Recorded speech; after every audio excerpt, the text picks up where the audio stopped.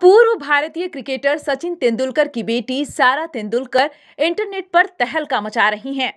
अगर आप उन्हें इंस्टाग्राम पर फॉलो कर रहे हैं तो आप कॉफ़ी के प्रति उनके लगाव से परिचित होंगे। इसी कड़ी में सारा तेंदुलकर ने अपने कॉफ़ी स्किल को निखारने के लिए लंदन स्कूल ऑफ़ कॉफ़ी का दौरा किया।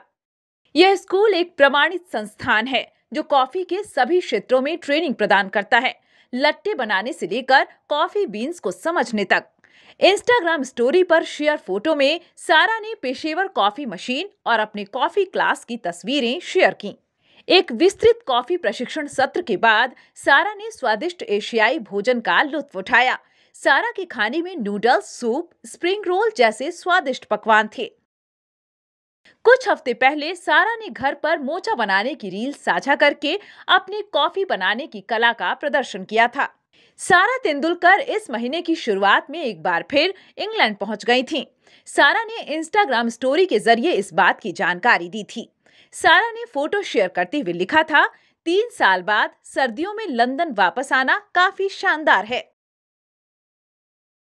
सारा तेंदुलकर का नाम क्रिकेट के एक लोकप्रिय टूर्नामेंट सहारा कप के नाम पर रखा गया था। यह ऐसा टूर्नामेंट था जिसे उन्नीस में सचिन तेंदुलकर ने बतौर कप्तान पहली बार जीता था। सारा तेंदुलकर की शुरुआती शिक्षा धीरूभाई अंबानी इंटरनेशनल स्कूल से हुई थी। इसके बाद वह लंदन की यूनिवर्सिटी कॉलेज से मेडिसिन की पढ़ाई कर रही हैं।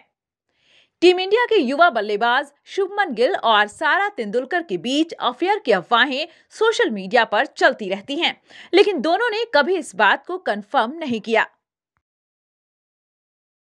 वैसे शुभमन गिल का नाम शाहरुख खान की बेटी से भी जुड़ चुका है। पिछले महीने सारा तेंदुलकर गोवा में छुट्टियाँ मनाते हुए दिखाई दी थी। गोवा टूर की कई तस्वीरें उन्होंने इंस्टाग्राम पर शेयर की थी। गोवा टूर से पहले सारा तेंदुलकर हैदराबाद भी घूमने गई थी।